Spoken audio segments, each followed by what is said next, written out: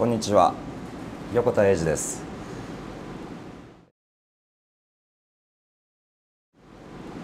えーいよいよ蜷川さん演出のベニスの商人に参加することができます。なぜか蜷川さんこれまで手がけていらっしゃらなかったようなんですがとうとう猿之助さんを迎えてえーベニスの商人を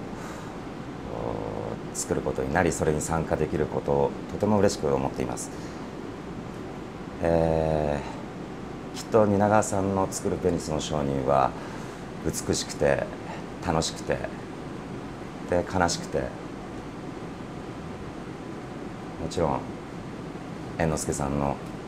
ものすごいお芝居がまた稽古場で見られると思うと今から楽しみでしょうがありません。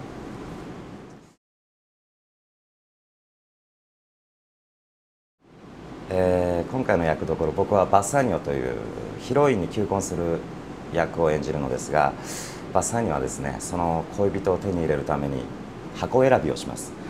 この箱選びがきっとバッサーニョにとってとても大切なシーンになると思っていますので、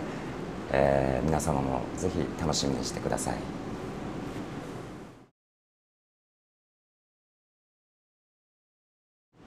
それではベニスのショーに